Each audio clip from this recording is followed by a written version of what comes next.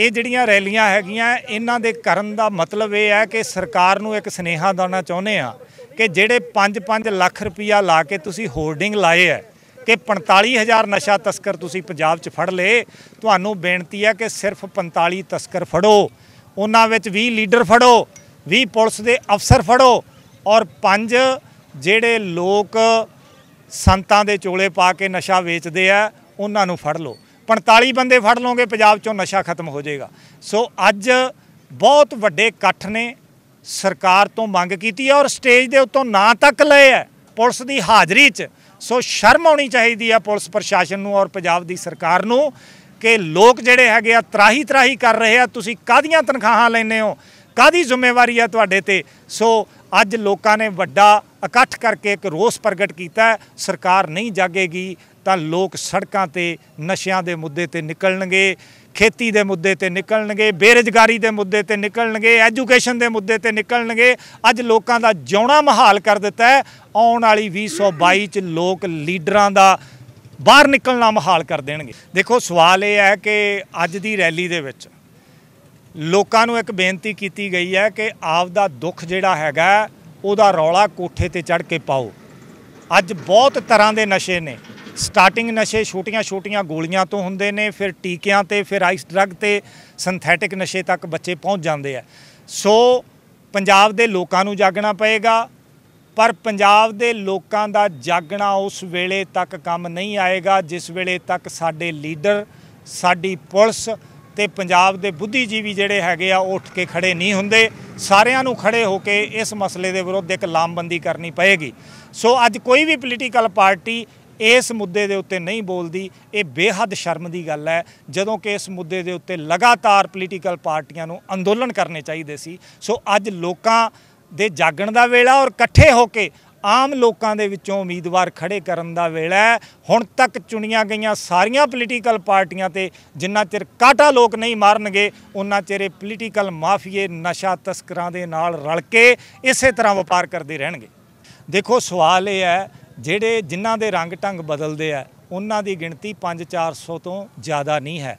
ਪਰ ਜਿਨ੍ਹਾਂ ਦੇ ਘਰ ਬਰਬਾਦ ਹੋ ਜਾਂਦੇ ਆ, ਉਹਨਾਂ ਦੀ ਗਿਣਤੀ ਲੱਖਾਂ ਤੇ ਕਰੋੜਾਂ ਦੇ ਵਿੱਚ ਹੈ।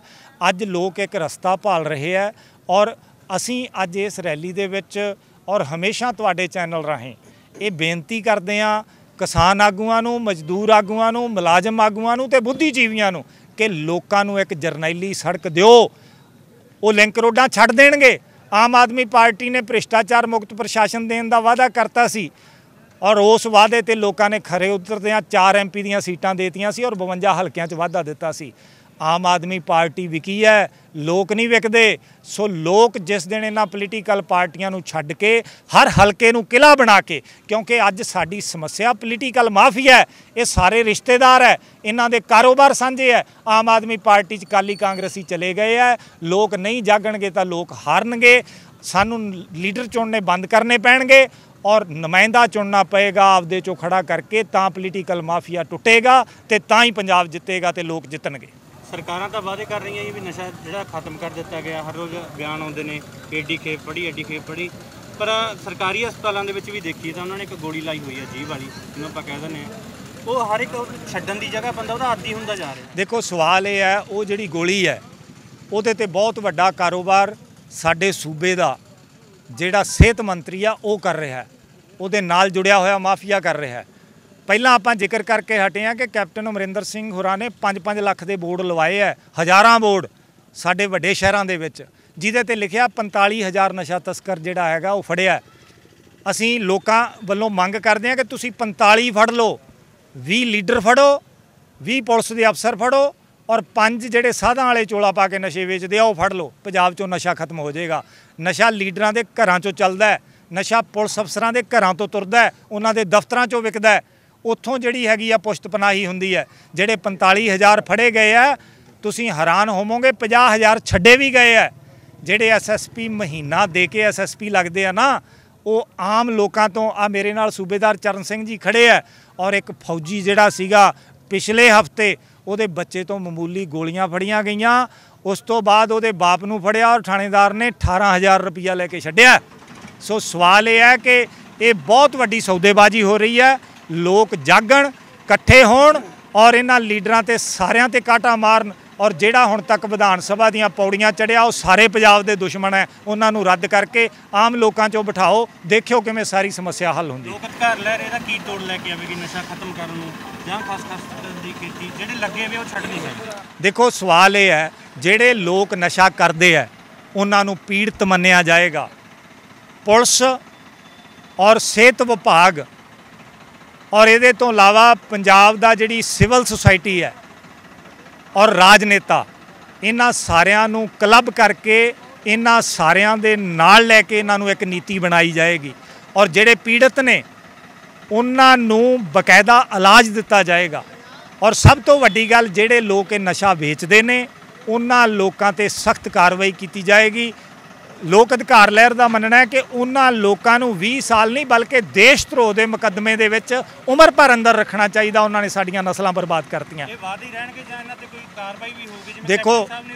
ਦੇਖੋ ਸਵਾਲ ਸਵਾਲ ਇਹ ਹੈ ਕਿ ਜਿਸ ਵੇਲੇ ਹਰ ਹਲਕੇ ਨੂੰ ਇੱਕ ਕਿਲਾ ਬਣਾ ਕੇ ਲੋਕ ਇੱਕ ਉਮੀਦਵਾਰ ਚੁਣਨਗੇ ਉਹਦੀ ਇਲੈਕਸ਼ਨ ਖੁਦ ਲੜਨਗੇ। ਅੱਜ ਸਵਾਲ ਇਹ ਹੈ ਕਿ ਅਸੀਂ 1.5 ਲੱਖ ਬੋਤਲ ਹਰ ਰੋਜ਼ ਸ਼ਰਾਬ ਦੀ ਪੀ ਜਾਂਦੇ ਆ 500 ਰੁਪਏ ਦੀ ਆਉਂਦੀ ਹੈ। ਪਰ ਐਮਐਲਏ ਬਣਾਉਣ ਤੇ ਕਦੇ ਅਸੀਂ 500 ਰੁਪਇਆ ਲਾਉਨੇ ਆ ਕੋਈ 50000 ਦਿੰਦਾ, ਕੋਈ ਲੱਖ ਦਿੰਦਾ, ਕੌਣ ਦਿੰਦਾ ਜਿਨ੍ਹਾਂ ਨੇ ਨਸ਼ੇ ਵੇਚਣੇ ਆ, ਜਿਨ੍ਹਾਂ ਨੇ ਜ਼ਹਿਰੀਲੀ ਸ਼ਰਾਬ ਵੇਚਣੀ ਆ, ਜਿਨ੍ਹਾਂ ਨੇ ਲੋਕਾਂ ਦੀਆਂ ਜ਼ਮੀਨਾਂ ਦੱਬਣੀਆਂ, ਜਿਨ੍ਹਾਂ ਨੇ ਬਦਲੀਆਂ ਕਰਾ ਕੇ ਪੈਸੇ ਲੈਣੇ ਆ, ਉਹ ਰੁਪਈਆ ਲਾਉਂਦੇ ਆ ਐਮਐਲਏ ਤੇ। ਲੋਕ ਜਿਹੜੇ ਹੈਗੇ ਆ, ਹਰ ਹਲਕੇ 'ਚ ਇੱਕ ਕਮੇਟੀ ਬਣੇਗੀ, ਉਹ ਕਮੇਟੀ ਲੋਕਾਂ ਨੂੰ ਜਾਗਰੂਕ ਕਰੇਗੀ ਔਰ ਹਰ ਹਲਕੇ 'ਚੋਂ ਖੜੇ ਕੀਤੇ ਉਮੀਦਵਾਰ ਦੀ ਇਲੈਕਸ਼ਨ ਲੋਕਾਂ ਦੀ ਮਦਦ ਨਾਲ 100-100 ਰੁਪਈਆ ਲੈ ਕੇ ਲੜੀ ਜਾਏਗੀ। ਔਰ ਤੁਸੀਂ ਯਕੀਨ ਕਰਿਓ, ਰਕਸ਼ੇ ਵਾਲਾ ਤੇ ਮਨਰੇਗਾ ਮਜ਼ਦੂਰ ਵੀ ਹਰ ਵੋਟ ਦੇ ਨਾਲ 50 ਰੁਪਈਏ ਦੇਣਗੇ। ਔਰ ਪੰਜਾਬ 'ਚ ਰੈਵੋਲੂਸ਼ਨ ਆਏਗਾ। ਅੱਜ ਕਿਸਾਨੀ ਅੰਦੋਲਨ ਕਰਕੇ, ਅੱਜ ਬੇਰੁਜ਼ਗਾਰਾਂ ਦੇ ਪੈਂਦੀਆਂ ਲਾਠੀਆਂ ਕਰਕੇ, ਅੱਜ ਮੁਲਾਜ਼ਮਾਂ ਨੂੰ ਨਾ ਮਿਲਦੀਆਂ ਤਨਖਾਹਾਂ ਕਰਕੇ, ਅੱਜ ਸਿੱਖਿਆ ਤੇ ਹੈਲਥ ਨਾ ਹੋਣ ਕਰਕੇ, ਹਰ ਬੰਦਾ ਜਿਹੜਾ ਹੈਗਾ ਤਰਸਦਾ ਹੈ, ਹਰ ਬੰਦੇ ਕੋਲੇ ਗਿਆਨ ਹੈ। ਬਸ ਕੇਵਲ ਤੇ ਕੇਵਲ ਸਾਡੇ ਆਗੂ ਇੱਕ ਵਾਰੀ ਮਾਰਗਦਰਸ਼ਨ ਬਣ ਕੇ ਇੱਕ ਜਰਨੈਲੀ ਸੜਕ ਬਣਾ ਦੇਣ, ਲੋਕ ਇਹਨਾਂ ਜਿਹੜੀਆਂ ਵੱਖ-ਵੱਖ ਪਾਰਟੀਆਂ ਹੈਗੀਆਂ, ਇਹਨਾਂ ਦੀਆਂ ਲਿੰਕ ਰੋਡਾਂ ਨੂੰ ਛੱਡ ਦੇਣਗੇ। ਸਭ ਤੋਂ ਪਹਿਲਾਂ ਜੀ ਵਾਹਿਗੁਰੂ ਜੀ ਕਾ ਖਾਲਸਾ, ਸ੍ਰੀ ਵਾਹਿਗੁਰੂ ਜੀ ਕੀ ਫਤਿਹ। ਮੈਂ ਜੀ ਸੂਬੇਦਾਰ ਚਰਨ ਸਿੰਘ ਕੀਰਤੀ ਚੱਕਰਾ, ਵੀ ਜੋ ਰਾਸ਼ਟਰਪਤੀ ਵਾਰਡ ਕੀਰਤੀ ਚੱਕਰ ਮਿਲਿਆ ਹੈ। ਅੱਜ ਅਸੀਂ ਜੋ ਇਹ ਨੌਜਵਾਨ ਬੰ- ਆਦਮੀਆਂ ਨੇ ਜੋ ਇਹ ਲਿਖਿਆ ਹੈ ਵੀ ਨਸ਼ੇ ਵਿਰੁੱਧ ਇਹ ਰੈਲੀ ਕੀਤੀ ਹੈ, ਉਸ ਦੇ ਵਿੱਚ ਅਸੀਂ ਬਹੁਤ ਵੱਡਾ ਯੋਗ ਪਾਇਆ ਵੀ ਸਾਰੇ ਜਿੰਨੇ ਵੀ ਇਹ ਨਸ਼ਿਆਂ ਦੇ ਵਿਰੁੱਧ ਕੈਪਟਨ ਸਾਹਿਬ ਨੇ ਇੱਥੇ, ਗੁਟਕਾ ਸਾਹਿਬ ਦੀ ਸਹੁੰ ਖਾਧੀ ਸੀ। ਕੈਪਟਨ ਸਾਹਿਬ ਦੇ ਪਿੰਡ ਦੇ ਵਿੱਚ ਦੋ ਆਦਮੀ ਸਕੇ ਭਰਾ। ਮਹਾਰਾਜ ਪਿੰਡ ਦੇ ਵਿੱਚ ਦੋਨੇ ਸਕੇ ਭਰਾ। ਅੱਜ ਇਸ ਪਿੰਡ ਦੇ ਮੈਂ ਇੱਕੇ ਦਿਨ ਹੀ ਮੌਤਾਂ ਹੋ ਗਈਆਂ। ਅਸੀਂ ਕੈਪਟਨ ਸਾਹਿਬ ਨੂੰ ਇਹ ਚਾਹੁੰਦੇ ਵੀ ਇੱਕ ਪਾਸੇ ਤੁਸੀਂ ਕਸਮਾਂ ਖਾਧੀਆਂ ਦੂਜੇ ਪਾਸੇ ਇੱਕੇ ਪਿੰਡ, ਤੇਰਾ ਹੀ ਪਿੰਡ ਹੈ ਜਿਹਦੇ ਪਿੰਡ ਐਡੇ ਵੱਡੇ ਪਿੰਡ ਦੇ ਵਿੱਚ ਨਸ਼ਾ ਵਿਕਰੀ ਹੋ ਰਿਹਾ। ਮੈਂ ਇੱਕ ਫਿਰੋਜ਼ਪੁਰ ਦਾ ਚੱਲ ਕੇ ਇਸ ਪਰਿਵਾਰ ਦੇ ਨਾਲ ਦੁੱਖ ਦੇ ਵਿੱਚ ਮੈਂ ਇਸ ਘੜੀ ਦੇ ਵਿੱਚ ਸਾਂਝ ਪਾਈ ਆ। ਮੈਂ ਨਾ ਮੇਰੇ ਪਿੰਡ ਦੇ ਵਿੱਚ ਨਸ਼ਾ ਵਕ- ਵਿਕ ਰਿਹਾ ਵਾ। ਪੁਲਿਸ ਵਕਾ ਰਹੀ ਆ, ਲੀਡਰ ਵਕਾ ਰਹੇ ਆ। ਉਹ ਸਭ ਤੋਂ ਅੱਗੇ ਆ ਰਹੇ, ਲੀਡਰ ਵਕਾਉਣ ਦੇ ਵਿੱਚ ਆ ਰਹੇ ਆ। ਜੇ ਚਾਹੇ ਤੇ ਸਭ ਕੁਝ ਨਸ਼ਾ ਪੰਜਾਂ ਸੱਤਾਂ ਦਿਨਾਂ ਦੇ ਵਿੱਚ ਸਭ ਕੁਝ ਖਤਮ ਕਰ ਸਕਦੇ ਆ, ਪਰ ਨਹੀਂ, ਇਹ ਨਸ਼ਾ ਜੋ ਸ਼ਾਇਦ ਪ੍ਰਸ਼ਾਸਨ ਦੇ ਜ਼ੋਰ ਦੇ ਨਾਲ ਵਿਕ ਰਿਹਾ ਵਾ, ਇਹ ਨਸ਼ੇ ਨੂੰ ਠੱਲ ਪੈਣੀ ਚਾਹੀਦੀ ਆ। ਮੈਂ ਆਪਦੇ ਵੱਲੋਂ ਇਹ ਗੱਲ ਕਰਦਾ ਵੀ ਮੈਂ ਆਪਦੇ ਪਿੰਡ ਦੇ ਵਿੱਚ, ਮੇਰਾ ਫਿਰੋਜ਼ਪੁਰ ਨਗਰ, ਪ੍ਰਤਾਪ ਨਗਰ ਦੇ ਵਿੱਚ ਪਿੰਡ ਆ। ਮੈਂ ਨਾ ਵੀ ਉਹ ਉਸ ਪਿੰਡ ਦਾ ਐਸਐਚਓ ਆ। ਸਾਡੇ ਫੌਜੀ ਜਵਾਨ ਸੀ, ਉਹਦੇ ਮੁੰਡੇ ਕੋਲੋਂ ਗੋਲੀਆਂ ਫੜੀਆਂ ਗਈਆਂ। ਮੈਂ ਆਖਿਆ ਵੀ ਮੈਂ ਮ- ਮੇਰੇ ਕੋਲ ਆਇਆ, ਮੈਂ ਕਿਹਾ ਮੈਂ ਨਹੀਂ ਜਾਣਾ, ਮਗਰ ਨਸ਼ੇ ਵਾਲਿਆਂ ਦੇ ਮਗਰ ਬਿਲਕੁਲ ਨਹੀਂ ਜਾਣਾ। ਉਸ ਮੁੰਡੇ ਨੂੰ ਜੇਲ੍ਹ ਭੇਜਤਾ। ਉਸ ਬੰਦੇ ਫੌਜੀ ਦੇ ਨਾਂ ਤੇ ਸਕੂਟਰੀ ਸੀ ਆਂਦਾ ਮੇਰੀ ਸਕੂਟਰੀ ਮੇਰੀ ਛਡਵਾ ਦਿਓ। ਮੈਂ ਸਕੂਟਰੀ ਵਾਸਤੇ ਗਿਆ।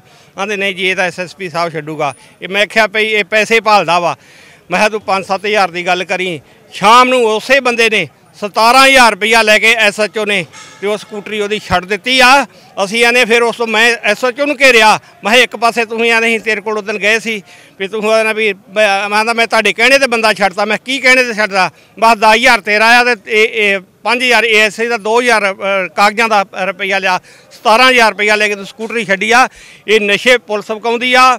ਸਭ ਕੁਝ ਪੁਲਿਸ ਦੀ ਸਹਿ ਤੇ ਹੁੰਦਾ ਵਾ, ਅਸੀਂ ਇਹਦੇ ਆਨੇ ਵੀ ਨਸ਼ੇ ਨੂੰ ਨੱਥ ਪਾਈ ਜਾਵੇ। ਇਹ ਜੋ ਲੀਡਰ ਹੈ, ਜਿਹੜੇ ਦਲਾਲੀਆਂ ਖਾਂਦੇ ਆ, ਜਿਹੜੇ ਪੈਸੇ ਖਾਂਦੇ ਆ, ਉਹ ਜਾ ਕੇ ਉਹਨਾਂ ਦੇ ਮਗਰ, ਉਹਨਾਂ ਦੇ ਮਗਰ ਜਾਂਦੇ ਆ, ਉਹ ਪੈਸਾ ਉਹਨਾਂ ਦਾ ਅੱਧਾ ਆਪ ਖਾਂਦੇ, ਅੱਧਾ ਪੁਲਿਸ ਨੂੰ ਦਿੰਦੇ, ਅੱਧਾ ਕਾਂ ਪ੍ਰਸ਼ਾਸਨ ਨੂੰ ਦਿੰਦੇ ਆ, ਉਹ ਦੱਲੇ ਜਾਂਦੇ ਮਗਰ ਉਹਨਾਂ ਦੇ ਮਗਰ, ਛਡਾਉਣ ਵਾਸਤੇ ਉਹਨਾਂ ਦੇ ਮਗਰ ਦੱਲੇ ਜਾਂਦੇ ਜਿਹੜੇ। ਆਮ ਲੋਕਾਂ ਨੂੰ ਇਹ ਚਾਹੀਦਾ ਵਾ, ਇਹ ਜੋ ਗੰਦ ਪੈ ਚੁੱਕਾ ਵਾ, ਗੰਦ ਸਾਫ਼ ਕਰਨ ਵਾਸਤੇ ਗੰਦ ਦੇ ਵਿੱਚ ਵੜਨਾ ਪਊਗਾ।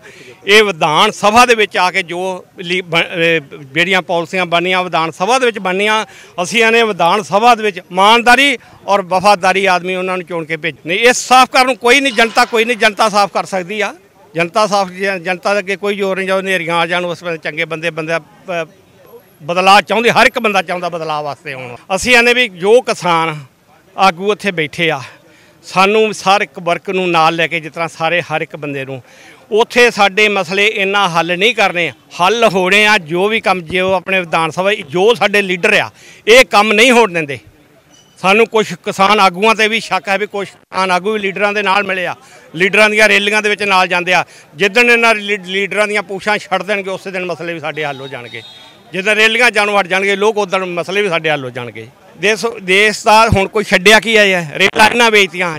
ਇਹ ਆਂਦੇ ਵੀ ਸੈਂਟਰ ਦੇ ਕੰਮ ਆ। ਜਹਾਜ਼ ਉਹਨਾਂ ਵੇਚਤੇ, ਟ੍ਰੇਨਾਂ ਉਹਨਾਂ ਵੇਚਤੀਆਂ। ਅਸੀਂ ਸਾਡੀਆਂ ਰੋਡਵੇਜ਼ ਦੀਆਂ ਬੱਸਾਂ ਕਿੰਨੇ ਵੇਚੀਆਂ? ਸਾਡੇ ਸਕੂਲ ਕਿੰਨਾਂ ਨੇ ਵੇਚਿਆ ਸਾਡੇ ਹਸਪੀਟਲ ਕਿੰਨਾਂ ਨੇ ਵੇਚਿਆ ਸਾਨੂੰ ਇਹ ਵੀ ਦੱਸਣਾ ਪੰਜਾਬ ਦੇ ਵਿੱਚ ਕਿੰਨਾਂ ਨੇ ਵੇਚਿਆ। ਜੋ ਕੰਮ ਕਰ ਰਹੇ ਪੰਜਾਬ ਤੋਂ ਸ਼ੁਰੂ ਹੋਇਆ। ਪੰਜਾਬ ਤੋਂ ਇਹਨਾਂ ਨੇ ਸ਼ੁਰੂ ਕੀਤਾ, ਫਿਰ ਅੱਗੇ ਵਿਕਦਾ ਵਿਕਦਾ ਵੇਖ ਗਿਆ ਸ਼ੁਰੂ ਤੋਂ ਇਹਨਾਂ ਨੇ ਕੀਤੀ, ਸ਼ੁਰੂਆਤ ਇਹਨਾਂ ਨੇ ਕੀਤੀ ਹੈ ਕੋਈ ਹੈ ਕੋਈ? ਨੱਕ ਲੈਣ ਨੂੰ, ਸਾਹ ਲੈਣ ਨੂੰ ਜਗ੍ਹਾ ਨਹੀਂ ਰਹੀ ਬਚੀ ਹੁਣ। ਪਹਿਲੀ ਗੱਲ ਜੀ ਦੇਖੋ ਜਦੋਂ ਲੋਕ ਅਧਿਕਾਰ ਲਹਿਰ ਚੱਲੀ ਆ, ਉਹਨਾਂ ਦੇ ਵਿੱਚ ਸਾਨੂੰ ਸਾਡੇ ਕੋਲੇ ਲੀਡਰ ਚੁਣ ਕੇ ਭੇਜਦੇ ਆ, ਕੇਜਰੀਵਾਲ ਚੁਣਦਾ ਵਾ, ਬਾਦਲ ਚੁਣਦਾ ਵਾ, ਉਹ ਕੈਪਟਨ ਚੁਣਦਾ ਵਾ। ਉਹਦਾ ਚੁਣਿਆ ਹੋਇਆ ਨੁਮਾਇੰਦਾ ਉਹ ਪਿੰਡਾਂ ਦੇ ਸਰਪੰਚਾਂ ਤੱਕ ਉਹਨਾਂ ਦੇ ਕਬਜ਼ੇ ਹੁੰਦੇ ਆ। ਜੇ ਕਿ ਸਾਨੂੰ ਵੋਟ ਪਾਉਣ ਦਾ ਅਧਿਕਾਰ ਨਹੀਂਗਾ ਤੇ ਸਾਨੂੰ ਕੋਈ ਅਧਿਕਾਰ ਨਹੀਂ ਇੱਥੇ, ਸਾਨੂੰ ਕੋਈ ਵੀ।